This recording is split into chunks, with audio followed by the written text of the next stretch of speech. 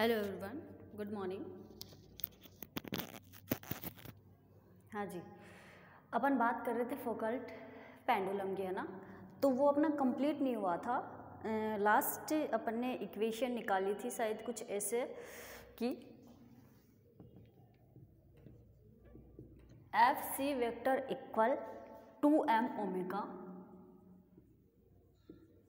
sine lambda I cup dash ऐसे कुछ निकाला था। अच्छा जी, वी डेज़ भी था इसके साथ। ये लो छोटा सा दिखा दिया ना। बात कर रहे थे अपन अपने फोकोलोलक की, ठीक है?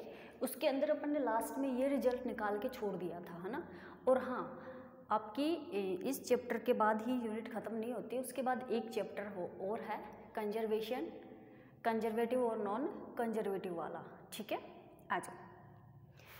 अपन ने ये वाली इक्वेशन निकाल के वहीं फिनिश कर दी थी क्लास को। आज अपन इससे आगे स्टार्ट कर रहे हैं। ये इक्वेशन क्या प्रदर्शित करती है? ये इक्वेशन क्या डिनोट करती है कि कोरोलियस फोर्स से मिलकर एंगुलर मोमेंटम और लीनियर वेलोसिटी बने perpendicular to plane earth direction में कार्य कर रहा है। ठीक है जी। अतः उत्तरी गोलार्ध में फोकोलोलक क्या? अतः नॉर्थ हेमिस्फेयर में जो फैकल पेंडुलम है, वो वेस्ट से ईस्ट की ओर घूर्णन करेगा, ठीक है? अर्थात दक्षिणावर्त घूर्णन गति करेगा और दक्षिणी गोलार्ध में वामावर्त दिशा में घूर्णन गति करेगा। ठीक है, ये अपन ने कल उस दिन सॉल्व कर लिया था। अब अपन बात करते हैं time period of Foucault pendulum की, ठीक है? नेक्स्ट शेडिंग क्या होगी अपनी? Time period of Foucault pendulum अब आप लोगों को पता है कि फोकोलोलक का, अब बात करते हैं फोकोलोलक का आवर्त काल। तो फोकोलोलक के आवर्त काल के लिए फॉर्मूला क्या होता है? T equal to pi upon omega sine lambda ठीक है? बात किसकी कर रहे हैं अपन? फैकल्ट पेंडुलम के टाइम पीरियड की। ठीक है? उसके लिए अपन ने क्या कर दिया? टाइम को किससे रिप्रेजेंट कर दिया? Two pi upon omega sine lambda अब भाई, आप लोग जानते हो, जब अपन ने पीछे जी लेमडा की वैल्यू निकाली थी, कहने का मतलब पृथ्वी के सापेक्ष घूर्णन गति। आप लोगों को पढ़ाया था, वहाँ पे अपन ने एक चीज़ मानी थी स्टार्टिंग में, अगर आपको याद हो। ओमेका जो है, वो पृथ्वी का कोणीय वेग है, ठीक है? तो उसको अपन ने वहाँ पे ओमेका इक्वल कुछ ऐसे लिखा होगा। क्या लिखा होगा? Two pi twenty four radian per hour. ठीक है? ये लिखा था। लिखा था। पीछे वाली क्लास में सुन लेना कि क्या था ये। ठीक है? सेम टू सेम वो वाली चीज़ उठा के मैंने यहाँ पे रखी है, कुछ भी नहीं किया है। यूँ मानो कि ये कितना होता है, ओमेगा का वैल्यू होती है। मतलब पृथ्वी इतना चक्कर लगाती है। ठीक है चक्का लगाने में पृथ्वी को इतना समय लगता है, कितना? Two pi upon twenty four radian per hour अब क्या कर दोगे? इक्वेशन वन भी आ गई और इक्वेशन टू भी आ गई। हेडिंग क्या चल रही है? क्या कर रहे हैं अपन? Time period of Foucault pendulum फोकोलोलक का आवर्तकाल निकाल रहे हैं। क्लियर है? उसके लिए अपन ने स्टार्टिंग में फॉर्मूला क्या रखा? T equal to pi upon omega sine lambda अब ओमेगा की वैल्यू आप लोग जानते हो। कितनी होती है? Two pi upon twenty four radian per hour. अब ओमेगा की वैल्यू आपके पास है तो किसमें पुट कर दोगे? इक्वेशन वन के अंदर पुट कर दो। तो क्या आ जाएगा? Twenty four upon sine lambda hour. ठीक है? ये अपना कितना आ गया? ये क्या आया? फोकोलोलक का आवर्तकाल ठीक है फोर को लोलक का आवर्तकाल कितना होगा? Twenty four upon sine lambda hour clear है जी यहाँ तक? अब अपन क्या करेंगे? Let angular velocity omega dash क्या करेंगे? लेट माना कोणीय संवेग कितना हो जाएगा? सॉरी कोणीय वेग कितना हो जाएगा? ओमेगा डैश और किसका? फोकल पेंडुलम का। ध्यान से सुनना। Let angular velocity omega dash to Foucault pendulum तो ओमेगा डैश इक्वल कितना आ जाएगा? अरे भाई, ये ओमेगा डैश क्या है यहाँ पे? कोणीय संवेग है, जिसको अपन ने किससे रिप्रेजेंट कर दिया? ओमेगा डैश से। तो अब आप लोग जानते हो क्या होता है? टू पाई अपॉन आवर्तकाल है टू पाई आप लोगों को पता है। आवर्तकाल आपने ऊपर निकाल रखा है। तो बस वैल्यू ही पुट करनी है। कितना आ जाएगा ये? Twenty four upon sine lambda two से टू चला जाएगा। कितना आया? ट्वेल्व आया। ठीक है? तो ये कितना हो जाएगा आपका देखो। Omega dash equal pi upon twelve sine lambda भाई क्लियर है क्या यहाँ तक? ठीक है। चूँकि पाई इक्वल कितना होता है? 180 डिग्री होता है। पता है ना? ठीक है तो क्या कर दोगे? पाई की जगह वैल्यू पुट कर दो। 180 degree upon twelve sine lambda इसको सोल्व करोगे तब क्या आ जाएगा आप लोगों के पास? 15 sine lambda degree per hour कहने का मतलब ये तो क्या है अपने पास? फोकोलोलक का आवर्तकाल और ये क्या है अपने पास? फोकोलोलक का कौन कोणीय संवेग। क्लियर है यहाँ पर? अब अपन कंडीशन यूज़ करते हैं इसके अंदर। कितनी? पोलर एक्सिस पर अगर लेमडा इक्वल 90 डिग्री है, क्या है? पोलर एक्सिस पर अगर लेमडा इक्वल 90 डिग्री है तो ओमेगा डैश इक्वल कितना आ जाएगा यहाँ पे? 15 साइन 90 तो कितनी वैल्यू होती है? तो ओमेगा डैश इक्वल कितना आ जाएगा? 15 डिग्री पर हावर। किसके ऊपर? पोलर एक्सिस पर। ठीक है जी? ओके। अब ये यहाँ पे अपना चैप्टर भी फिनिश होता है और अपना इसका टॉपिक भी फिनिश होता है। ठीक है? अब अपन नेक्स्ट हेडिंग लिखने जा रहे हैं। Lorentz transformation equation. देखो, ये आपके सिलेबस में नहीं है। क्या? लोरेंज ट्रांसफॉर्मेशन जो है, वो आप लोगों को सिलेबस में नहीं है। पर ये 2018 के बाद आप लोगों के सिलेबस से हट गया था। उसके बाद ये दो बार आ चुका है तो इसलिए अपन कोई रिस्क नहीं लेने चाहते इसीलिए अपन इस टॉपिक को करवा रहे हैं। हेडिंग हो जाएगी अपनी क्या? लोरेंज ट्रांसफॉर्मेशन इक्वेशन क्लियर है जी?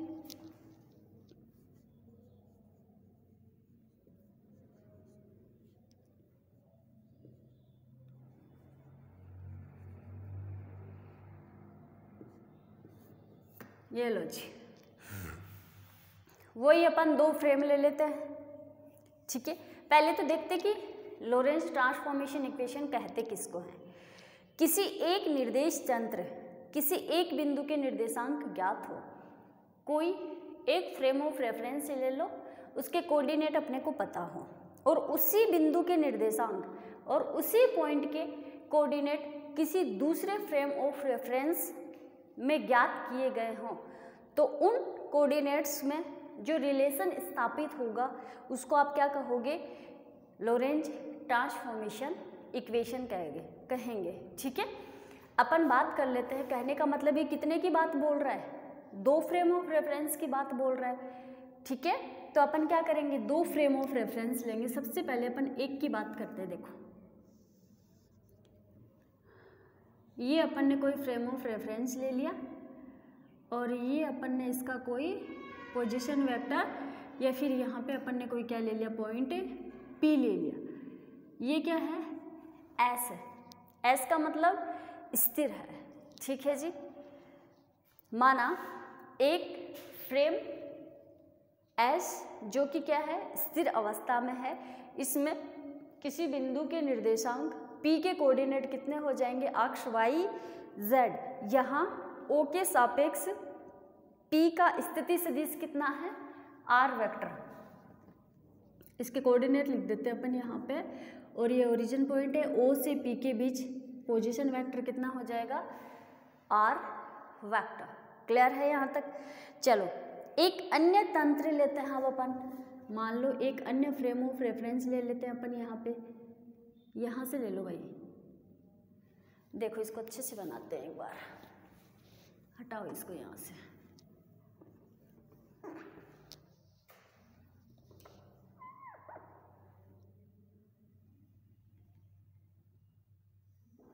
इसको थोड़ा सा और आगे ले जाओ। और ये क्या अपने पास एस डेस अब आप लोगों को पता है, पीछे अपन ने जितने भी frame of reference S dash लिए, वो क्या करता है? वी नियत वेग से क्या है? गतिशील है। तो ये इसको भी क्या कर दोगे? वी नियत वेग से ये क्या है? गतिशील है। ठीक है? अब ये यहाँ से अपन ने कोई पॉइंट क्या ले लिया? पी ले लिया। ओके यहाँ से लेके यहाँ तक, यानी कि फ्रेम एस का पोजीशन वेक्टर क्या हो जाएगा? आर वेक्टर इसी तरीके से इस वाले फ्रेम को मिला दो। ये लो।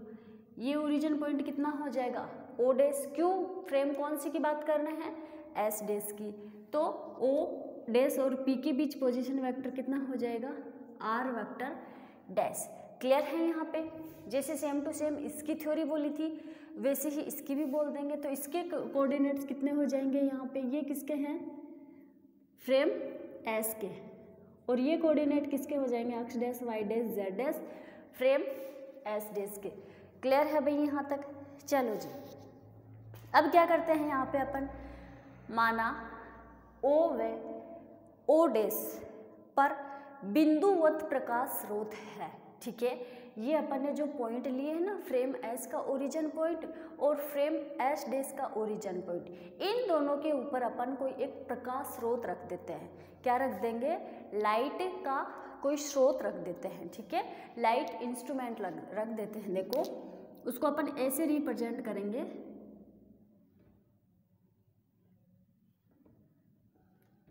देखो जी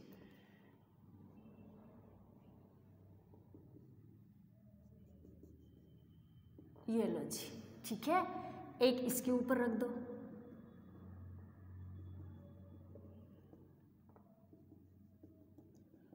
ये लो। अपन ने क्या किया? दो फ्रेम लिए एस व एस डेस ठीक है?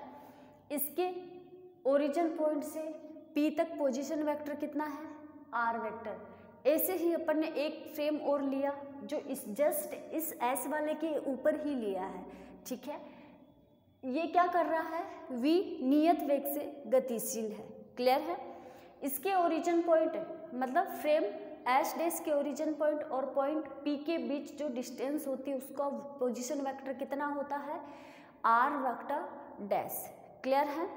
अब दोनों के कोऑर्डिनेट्स लिख दिए यहाँ पे, ठीक है। अब अपन ने क्या किया है? यहाँ पे माना o व o डैश इन दोनों बिंदुओं के ऊपर, दोनों के ओरिजिन पॉइंट पर अपन ने कोई प्रकाश स्रोत रख दिया है। क्लियर है? कोई लाइट इंस्ट्रूमेंट रख दिया है। और इन दोनों की जो वेलोसिटी होगी, वो अपन क्या लेंगे? सेम लेंगे। यानी कि अगर इसकी वेलोसिटी सी है तो इसकी भी कितनी होगी? सी होगी। क्लियर है भाई यहाँ तक? अगर इसकी वेलोसिटी सी ली है तो इसकी भी वेलोसिटी कितनी लोगे? सी लोगे। आगे बात करेंगे अपन इसकी क्यों ली है। क्लियर है भाई यहाँ तक? अब एक चीज़ और सुनना यहाँ पे। ओ वे ओ डेस से बिंदु पी तक। ये प्रकाश लाइट जाने में लगा समय। अब भाई क्या किया है आप लोगों ने? मान लो ये आपके घर की कोई छत है। क्लियर है? यहाँ पे आपने कोई बल्ब लगा दिया। अरे गोल होता है भाई बल्ब, है ना? ये लो, बल्ब लगा दिया। अब क्या किया आप लोगों ने? इसको घर की छत पे रख दिया और बल्ब जला दिया। ये बल्ब क्या है? रोटेट करने वाला है, घूमने वाला है, ठीक है? अगर ये बल्ब जला दिया तो ये पूरा प्रकाश कहाँ डालेगा? यही तो डालेगा ना। डालेगा कि नहीं डालेगा? डालेगा। अगर अपन ने ओरिजिन पॉइंट पर कोई लाइट इंस्ट्रूमेंट रखा है। तो इस वाले की जो लाइट जाएँगी, वो कहाँ जाएँगी? पॉइंट पी पर। और जो frame of reference S dash की जो ओरिजिन पॉइंट पे जो लाइट इंस्ट्रूमेंट रखा है, उसकी लाइट कौन से पॉइंट पे जाएँगी? पॉइंट पी के ऊपर। ठीक है?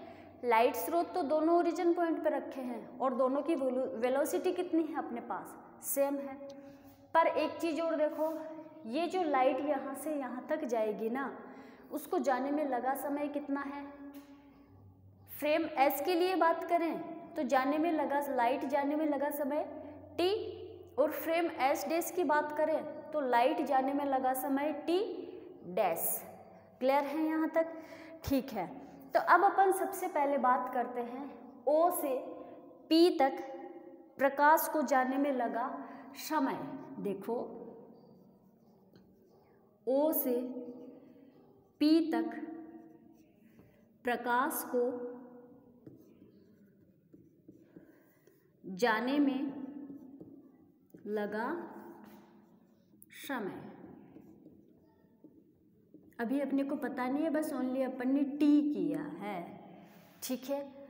अब अगर आप समय निकालते हो तो कैसे निकालते हो? दूरी अपॉन वेग। फॉर्मूला यही होता है। ठीक है? तो ओ से पी तक की बात कर रहे हो? और टाइम कितना है अपने पास? टी है। T equal. फॉर्मूला क्या होता है? दूरी अपॉन वेग इक्वल टाइम। यही होता है। तो टी अपने पास है। दूरी किस किस कौन सी दूरी के बीच निकाल रहे हो? ओ से लेके पी तक। तो यहाँ पे क्या लिख दोगे? O, P. अब बात किसकी कर रहे हो? वेग की। तो ज़ाहिर सी बात है फ्रेम एस के ओरिजिन पॉइंट पे प्रकाश स्रोत क्या रखा था? प्रकाश स्रोत रखा था और उसके ऊपर अपन ने वेलोसिटी कितनी ली थी? सी ली थी। तो इसके नीचे कितना लिख दोगे? सी कहने का मतलब वेग। वेग आएगा किसका यहाँ पे? इसी का तो आएगा। तो वेग कितना है यहाँ पे? प्रकाश का वेग। सी है। लाइट वेलोसिटी कितनी है यहाँ पे? सी तो अपन ने लिख दी T equal O P upon C अब एक चीज़ बताओ। ध्यान से सुनना, ध्यान से सुनना, ध्यान से सुनना। कोई दिक्कत नहीं है, अपन एक बार फिर से रिवाइज कर देते। देखो इसको। ये डायग्राम समझ में आ गया। अपन ने एक फ्रेम लिया एस ओके उसको, एक उसके लिए अपन ने कोई पॉइंट लिया पी क्लियर है? ओ से पी तक, यानी कि फ्रेम ऑफ़ रेफरेंस एस का पोजीशन वेक्टर क्या होता है? आर वेक्टर पोजीशन वेक्टर कब मिलता है अपन को? ओ और पी को मिलाते हैं, तब मिलता है। तो इसको अपन ने क्या कर दिया? आर वेक्टर क्लियर है? ऐसे ही अपन क्या करते हैं? फ्रेम एस डेस की बात करते हैं। पर फ्रेम एस डेस आप पीछे से पढ़ते आए हो कि क्या होता है? गतिशील होता है। कौन से वेग के साथ गति करता है? वी नियत वेग के साथ गति करता है। क्लियर है? अब देखो। इसका वो पोजिशन वेक्टर क्या हो जाएगा फ्रेम एस डेस का? आर वैक्टर डैश होगा। क्लियर है? अब ये पॉइंट पी है। अगर फ्रेम ऑफ़ रेफरेंस एस की बात करो तो कोऑर्डिनेट क्या लिख दोगे? अक्ष वाई जेड अगर फ्रेम एस डेस की बात करो तो कोऑर्डिनेट कितने लिख दोगे पॉइंट पी पर अक्ष dash Y dash Z dash clear है? ये अपने क्या थे? सिंपल फ्रेम्स थे।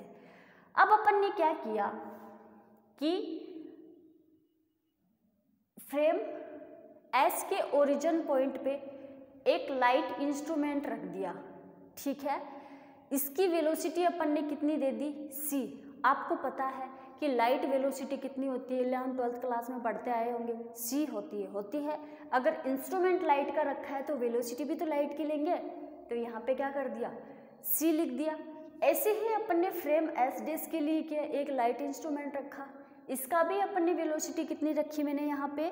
सी रख दी। कहने का मतलब दोनों इंस्ट्रूमेंट की लाइट वेलोसिटी क्या है? सेम है हुँ? हम्म? अब अपन करेंगे ओ से पी तक लाइट जाने में कितना समय लगा, ठीक है? अगर आप क्या निकाल रहे हो, समय की बात कर रहे हो तो उसको किससे रिप्रेजेंट कर दोगे? टी से। अब आपको पता है कि टी निकालना है तो समय का टी का फॉर्मूला क्या होता है? डिस्टेंस अपॉन वेलोसिटी होती है, ठीक है? टी आप लोगों के पास है। अब आप लोग ये भी देखो डिस्टेंस कहाँ से कहाँ तक निकाल रहे हो? ओ से लेके पी तक। तो इसको ओ पी लिख दिया। अब ये सी क्या है यहाँ पे? ये प्रकाश की वेलोसिटी है लाइट की वेलोसिटी है, जिसको अपन ने यहाँ पे लिख दिया। ठीक है? अब एक चीज़ देखो। अगर आप दो चीज़ों के बीच डिस्टेंस निकाल तो मानो, ये है अक्स टू यहाँ से लेके यहाँ तक अक्स टू है। ठीक है? अब अगर मैं आपसे पूछूँ, मान लो कि इसकी डिस्टेंस बताओ मेरे को, कोई भी कोई भी बिंदु है, मान लो। अब मैं क्या कर रही हूँ, देखो। यहाँ पे पॉइंट पी के कोऑर्डिनेट क्या है? अक्ष वाई जेड अगर अपन डिस्टेंस निकालते हैं तो कैसे निकालोगे? Zero sorry O minus X distance दो चीज़ों के बीच डिस्टेंस ही तो निकालते हो डिस्टेंस निकालते हो तो माइनस करके ही तो निकालते हो। तो क्या अपन इसको ऐसे लिख सकते हैं? हर एक चीज़ छोटी छोटी चीज़ें बताने लायक नहीं होती है। देखो ओपी के ऊपर बस ये चीज़ याद रखना कि यहाँ पे कोऑर्डिनेट कितने लिए हैं? अक्ष वाई जेड ओके तो कैसे लिख दोगे आप लोग इसको? Zero minus X square plus zero minus sorry O minus Y square plus O minus Z square upon वे कितना है आप लोगों के पास? सी है है ना? ठीक है। अब क्या कर दोगे इसको? ऐसे लिख दोगे? X square plus y square plus z square plus c square और टी स्क्वायर। लिख सकते हो भाई? बिल्कुल लिख सकते हैं। अब क्या कर दोगे? X square plus y square plus z square, इसको इस साइड ले minus c square t square equal zero. इसको नंबर दे दो वन। क्लियर है? जैसे आप लोगों ने ओ से पी तक प्रकाश को जाने में लगा समय निकाला है। वैसे ही आप लोग ओ डेज़ से पी तक जाने में लगा समय निकालो। मैं डायरेक्ट लिख रही हूँ, समझ जाना? ओ डेज़ पी से जाने में लगा समय कितना होगा? T dash? तो टी डैश इक्वल कितना हो जाएगा? O dash p upon c. ठीक है? तो इसको कैसे लिख दोगे? देखो आप लोग।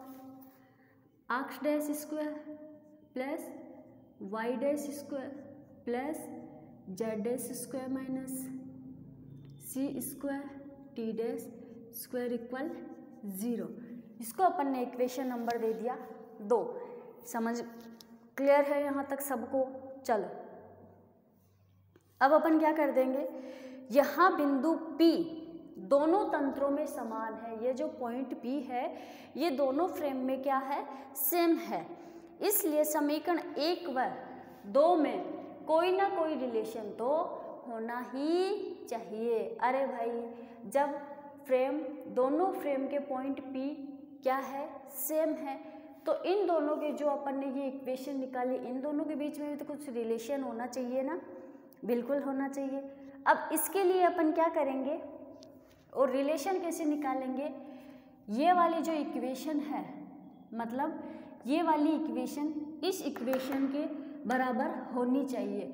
अगर दोनों के पॉइंट पी सेम है तो ये जो दोनों इक्वेशन आई है ना मतलब ये जो इक्वेशन आई, इक्वेशन टू ये इस इक्वेशन वन के क्या होनी चाहिए?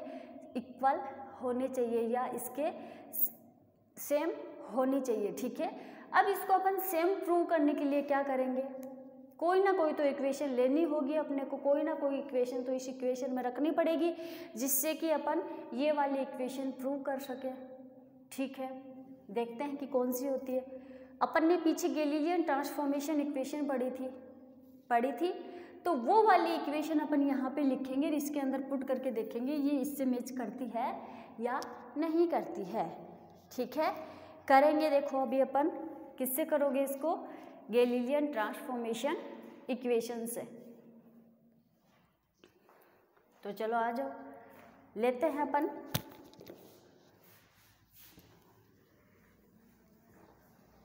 बस कुछ नहीं करना है। रिज़ल्ट यही निकालना है लास्ट में कि ये वाली इक्वेशन आनी चाहिए, कैसे भी आए। ओके और इस इक्वेशन के लिए अपन देखो ये डेरिवेशन करेंगे, देखते जाना कितने नंबर लास्ट इक्वेशन आती है और कितना बड़ा इसका डेरिवेशन है? ठीक है जी? आ जाओ तो।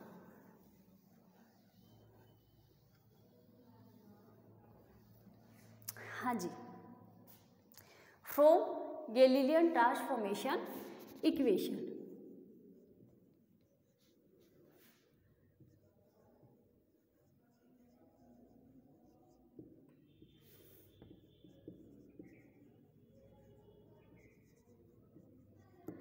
हाँ जी, Galilean transformation equation x dash equal x minus v t y dash equal y होता है जेड डैश इक्वल जेड होता है। ठीक है? और वहाँ पे ये भी है कि टी डैश इक्वल क्या होता है? टी होता है। इक्वेशन दो अपने पास है। इसको इक्वेशन नंबर बोल दो तीन, इसको बोल दो चार, इसको बोल दो पाँच और इसको बोल दो छ। क्लियर है जी? ठीक है। अब अपन क्या कर देंगे? ये जो इक्वेशन है, ये इसके अंदर पुट करके देखेंगे कि ये इससे मैच कर रही है या नहीं कर रही है। ठीक है? तो चलो आ जाओ। अपन क्या कर रहे हैं? यदि कोई फ्रेम अक्ष डायरेक्शन में गति करता है, तभी अपन ये क्या करते हैं? गेलीलियन ट्रांसफॉर्मेशन इक्वेशन लिखते हैं। ठीक है? क्या बोला मैंने? यदि कोई फ्रेम अक्ष डायरेक्शन में ही गति कर रहा है या फिर अक्ष डायरेक्शन में ही गति करता है, तब अपन क्या लेते हैं? गेलियन ट्रांसफॉर्मेशन इक्वेशन लेते हैं। आपको पता है कि पीछे जो अपन ने दो फ्रेम लिए थे, वो भी क्या कर रहे थे? अक्ष डायरेक्शन में मोशन कर रहे थे। कर रहे थे, इसीलिए अपन ने ये क्या लिया यहाँ पे? गेलीलियन ट्रांसफॉर्मेशन इक्वेशन लिया है। अब equation three, four, five, six put कर दो। इक्वेशन टू के अंदर। देखो, पुट करते हैं देखते क्या आता है। अक्ष डैश वैल्यू रख दो। अक्ष माइनस वी टी का square plus y dash equal क्या है यहाँ पे? वाई तो लिख दो y square. Z dash equal भी क्या है? Z square minus c square. ये टी डेस स्क्वायर है। यहाँ पे क्या आ जाएगा? T square equal zero. Okay? एक बार हटा दो, इसको फिर से लिख लेंगे, कोई दिक्कत ना है। तो देखो, अब इसको ओपन कर दो ए माइनस बी के होल स्क्वायर के फॉर्मूले से। X square plus v square t square minus two x v t plus y square plus z square minus c square t square equal zero okay जी? Clear है यहाँ तक? तो अब क्या करोगे आप लोग यहाँ से? अक्ष स्क्वायर, इन सबको एक साइड रख लो। X square, y square plus z square minus c square, t square. ठीक है? प्लस कौन कौन सी चीज़ें आ गई? X square, y square, z square minus c square, t square. अब बचा कौन सा आप लोगों के पास? ये वाले बचे ना? तो लिख दो इनको। V square, t square minus two x v t equal में ज़ीरो हाँ जी। अच्छा जी, वो इक्वेशन लेके ही आनी पड़ेगी अपने को। इक्वेशन वन क्या थी? X square plus y square plus z square minus c square t square equal zero अपने को करना क्या था? ये गैलीलियन ट्रांसफॉर्मेशन इक्वेशन अपन ने यहाँ पे ली क्यों थी? पुट क्यों की थी? क्योंकि इसको, इसके इक्वल में करना था। या फिर ये जो वैल्यू है, इसको इसकी वैल्यू के बराबर करना था, ठीक है? अब यहाँ पे देखो वैल्यू क्या बराबर हुई? ना, जी ना, यहाँ पे तो बराबर नहीं हुई। तो अब एक चीज़ देखो, ये वाली वैल्यू और ये वाली वैल्यू सेम है है, पर ये वाली वैल्यू सेम नहीं है। तो आप लोग क्या कह दोगे यहाँ पे? कि इक्वेशन वन टू के कंपैरिजन से हमें ज्ञात होता है। क्या इक्वेशन वन एंड सेवन के कंपैरिजन से हमें प्राप्त होता है कि इक्वेशन सेवन में v square t square minus two x v t एक अतिरिक्त पद है। अतः हम कह सकते हैं कि गैलीलियन ट्रांसफॉर्मेशन इक्वेशन ऐसे फ्रेम में कार्य नहीं करता है, ठीक है? गैलीलियन ट्रांसफॉर्मेशन ऐसे फ्रेम के अंदर कार्य नहीं करेगा। क्लियर है जी यहाँ तक? चलो। ये तो अपन ने प्रूव कर दिया कि गैलीलियन ट्रांसफॉर्मेशन इक्वेशन जो है, वो यहाँ पे तो कार्य नहीं करेगी। तो अब क्या करें मैम? अब इसको कैसे सोल्व करोगे भाई आप लोग? देखो। हाँ जी। अब जो अपन इक्वेशन लेंगे ना, वो ही इक्वेशन कहलाएगी अपनी लोरेंज ट्रांसफॉर्मेशन इक्वेशन क्या करेंगे? इक्वेशन वन और टू के कंपैरिजन से तो अपने को ज्ञात नहीं हुआ, यही ज्ञात हुआ कि इक्वेशन सेवन के अंदर v square t square minus c square t square जो है वो एक अतिरिक्त पद है। कहने का मतलब इसके अंदर गैलीलियन ट्रांसफॉर्मेशन इक्वेशन कार्य नहीं करती है। अब जो इक्वेशन लेंगे अपन, इस प्रूव करने के लिए इक्वेशन वन को तो वो इक्वेशन अपनी कहलाएगी। क्या? गैलीलियन ट्रांसफॉर्मेशन इक्वेशन ठीक है जी। अब क्या करेंगे आप लोग? माना लोरेंज ट्रांसफॉर्मेशन इक्वेशन निम्न प्रकार है। अरे मैम, ये तो आप पहले ही क्यों लिख रहे हो? देखो, लिखनी नहीं है, ये अपन प्रूव करेंगे बाद में, है ना? चलो जी।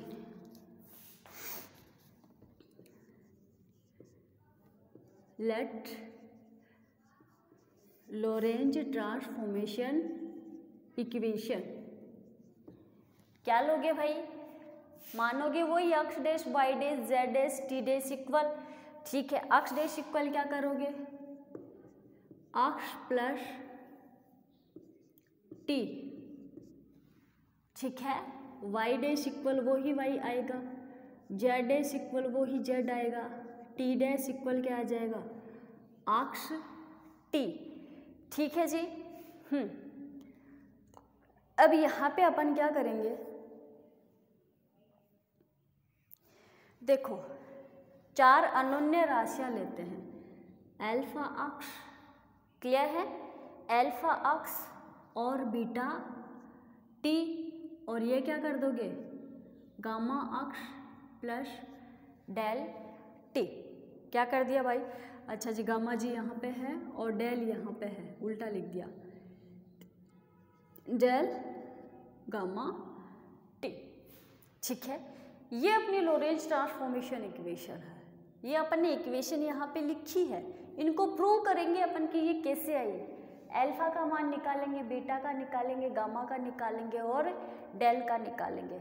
ठीक है? ये अपनी होती है लोरेंज ट्रांसफॉर्मेशन इक्वेशन इसको इक्वेशन दे दो एट इसको दे दो नाइन इसको दे दो टेन इसको दे दो इलेवन क्लियर है जी यहाँ पे?